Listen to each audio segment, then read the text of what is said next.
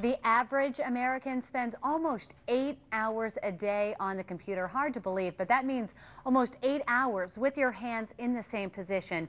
So it's no surprise that carpal tunnel syndrome is becoming a very common problem.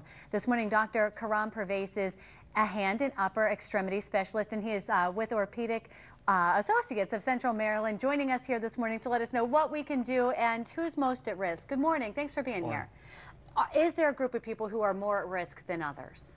Um, there are certain conditions that are linked to carpal tunnel syndrome, such as diabetes. Mm -hmm. um, I see a lot of uh, pregnant women uh, that get uh, carpal tunnel syndrome during pregnancy or right after.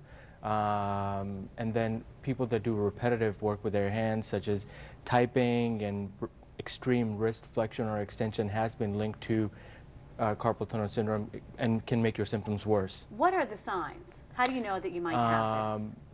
Most of my patients uh, complain of numbness and tingling in their hands. A lot of people wake up in the middle of the night with numb fingers, have to shake their hands to relieve their symptoms, and then a lot of hand fatigue, weakness, doc, I can't use my hand properly, I'm starting to drop things. Those are some of the very common conditions. So what do you do? Of course, come to see you, and, and then what's next? Um, I usually uh, prescribe a splint for my patients.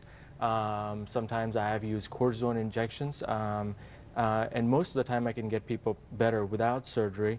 Uh, and then sometimes depending on how severe their condition is and depending on certain tests that we do, uh, some people just end up requiring surgical release. What kind of surgery would you do to, to fix something like that? Uh, these days we do most of this through very small incisions. Uh, I like um, to hear that. Yeah.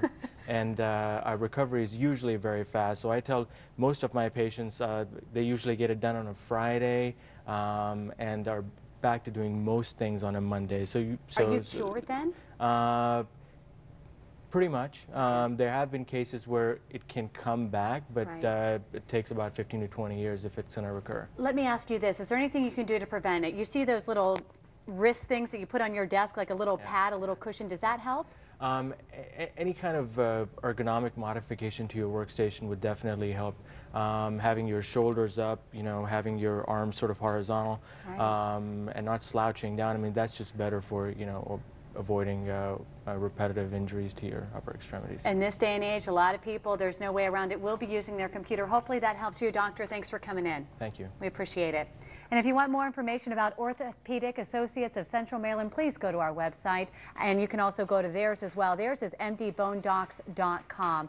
You can watch Your Health Matters on Sundays right here on Fox 45 for a complete schedule. Go to our website, foxbaltimore.com slash Your Health Matters.